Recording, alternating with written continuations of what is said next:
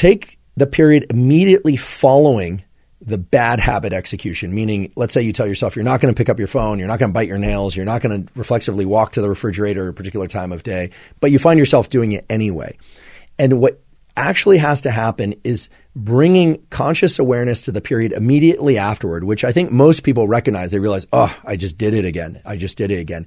And in that moment, capture the sequence of events, not that led to the bad habit execution, but actually to take advantage of the fact that the neurons that were responsible for generating that bad habit were, were active a moment ago and to actually engage in a replacement behavior immediately afterward.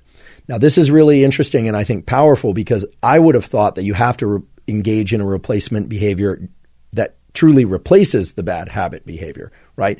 Uh, that you would have to be able to identify your state of mind or the sequence of events leading into the bad habit, but rather the stage or the period immediately after the bad habit execution is a unique opportunity to insert a different type of what we would call adaptive behavior, but that could be any behavior that's not in line with the bad behavior. So let's give it an example. Let's say you find yourself, um, you're trying to do focused work, you pick up your phone, you're disappointing yourself for, for picking up your phone. You could, of course, just put it down or you, and re-engage in the work behavior. But if you were good at that, then you probably wouldn't have done it in the first place.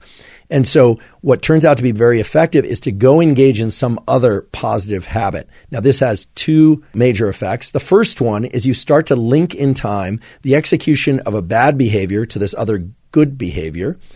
And in doing so, you start to recruit other neural circuits, other neurons that can start to somewhat dismantle the sequence of firing associated with the bad behavior. In other words, you start to create a kind of a double habit that starts with a bad habit and then ends with a good habit. And that seems to create a, enough of a temporal mismatch so that then recognizing when you're heading toward the bad habit becomes more apparent to you. So again, I want to make this very, very concrete. Let's say that the uh, behavior is uh, reflexively picking up one's phone. You do that, you think, oh goodness, I did it again. Here's what I'm going to do. You would set that down and then you would engage in some other positive behavior that you've deemed positive. And here it's very subjective, so it's hard for me to give an example that will necessarily make sense to everybody. But perhaps um, you're working on hydration, so maybe you go have a glass of water. Maybe you um, you are trying to uh, do breath work or something. Maybe you're you are trying to uh, enhance your language speaking skills, and so you go and you spend five minutes doing a particular type of language learning. You literally exit whatever you are doing and perform that other new positive habit in the immediate period right after that, even for a short period of time. It's a little bit counterintuitive, but what this does is it creates a kind of a cognitive and a temporal mismatch between the initial bad behavior, which before is what we would call sort of a closed loop. In uh, the engineers out there will know what I'm talking about. But in closed loop, so one behavior, one set of neural firings leads to another, leads to another, and then just kind of sets the same thing in motion. It can be kind of a self perpetuating system. By changing the number of features that are in that loop, it disrupts the, the closed nature of that loop. It creates what we call an open loop. And in an open loop, you are better able to intervene. So, as I mentioned before, this might seem counterintuitive. You might think, why would I want to reward the execution of a bad habit with a good habit? I don't want to reward myself for the bad habit. But really, what you're trying to do is you're trying to change the nature of the neural circuits that are firing so that you can rewrite the script for that bad habit. A different way to put it would be imagine that the bad habit is like a, a, a, chord on the piano that you play, or a chord of notes, or a sequence of notes that you would play.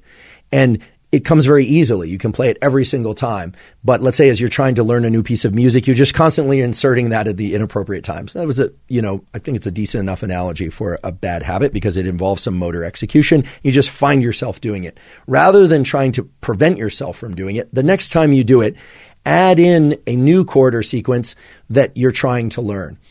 What this does then is it changes the whole nature of the sequence of neurons that are firing from bad habit through to the end of this newly applied good habit. So this is the way in which you start to dismantle, or when I say dismantle, really weaken the likelihood that if neuron A fires, neuron B will fire. Because as you're starting off in the mode of very reflexively performing a bad habit, those neurons are firing together without you consciously being aware of it. It's almost impossible for you to intervene in yourself uh, without a number of other features like severe punishment, um, severe consequence type outcomes. Rather, tacking on some additional sequences, like if neuron A fires, neuron B fires, and then you're saying, okay, well, if neuron B fires, I'm going to start inserting neuron C, D, E, F to fire, right? That's the C, D, E, F being the positive behavior that you're going to insert.